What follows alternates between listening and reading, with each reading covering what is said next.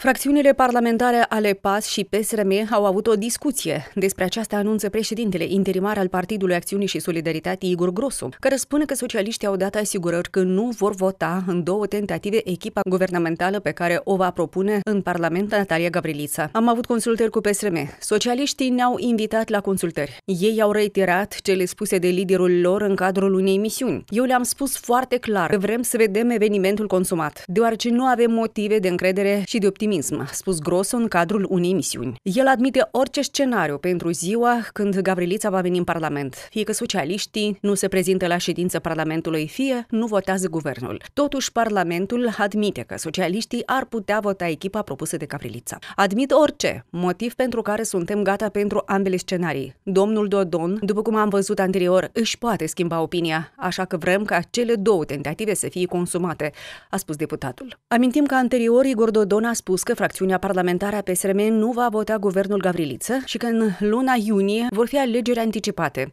Acesta a mai declarat că cel mai bun scenariu privind formarea unei noi majorități parlamentare după alegerile anticipate ar fi o coaliție PAS-PSRM. În același timp, premierul desemnat este convins că deputații socialiști și cei din Partidul Șor nu vor îndrăzni să voteze guvernul. Gavrilița a argumentat aceasta prin faptul că pe deputați ar putea să-i sperie programul de guvernare care va fi prezentat în Parlament. Potrivit ei, intenția este să lichidăm schemele de delapidare, să protejăm averea statului, să oprim schemele de corupție și contrabandă și să oferim economiei antreprenorilor, oamenilor care aduc valoare o gură de oxigen necesar pentru o ieșire din criză. Dar, repet, propunerea actuală a Partidului Acțiunii și Solidaritate în ceea ce ține echipa de guvernare și programul de reforme rămâne valabilă, fie că e votată de acest Parlament, fie în scenariul mai bun că e votat în Parlamentul viitor, a declarat Gavriliță. Premierul desemnat a adăugat că problemele țării trebuie rezolvate de oameni competenți serioși, care se bucură de suport sincer și constructiv în Parlament